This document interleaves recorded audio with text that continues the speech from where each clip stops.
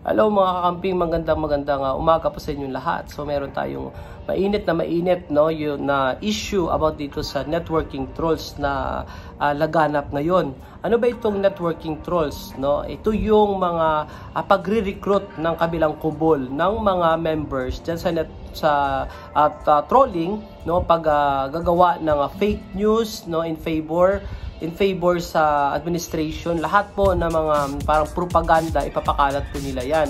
No? So, tapos lahat naman um, kalaban nila, eh, talagang uh, uh, bibigyan nila ng issue. No? Diba? Uh, kung manotice nyo, ultimo yung pagtuturo ni VP Lenny sa um, uh, Harvard, eh, talagang ultimo uh, audience, ultimo uh, yung topic niya, binibigyan lahat nila ng um, issue. So, ganun sila ka, ganun ka-specific ang command sa kanila no to create issues no out of uh, kung ano man ginagawa ni uh, Attorney Lenny Robredo gawan dapat nila yan ang mga issue talaga dapat magiging uh, ganun sila kalikot yung utak nila para kumita So parang may ano yan sila may uh, may uh, time no na kailangan na uh, every uh, ganito ilang minutes 5 minutes dapat nakakapag-release kayo. Kaya may papakita ko sa inyo uh, sa dulo nito yung mga uh, trolls nila na sobrang active talaga sa Twitter. Makikita niyo yung account nila.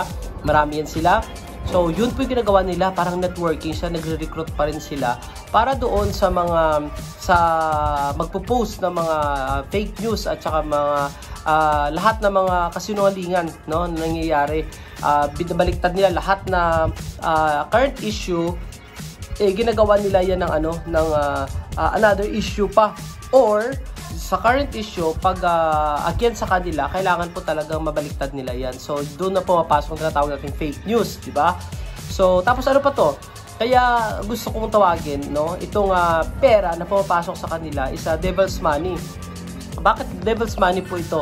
Dahil itong uh, pera na sinusweldo sa kanila, igaling nga sa kasamaan, no? Sabihin na natin, pinaghirapan mo yan. Pinaghirapan mo yan, pero galing sa kasamaan. Kasi ang katotohanan, pinitwist mo, no? So, devil's money siya. So, hindi ko alam kung nag enjoy sila dyan sa devil's money, no? Sana uh, mabusog yung pamilya nila.